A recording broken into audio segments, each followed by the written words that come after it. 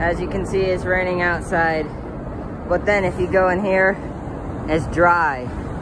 So we start from here and go into those lines. You gotta work with what we got here today.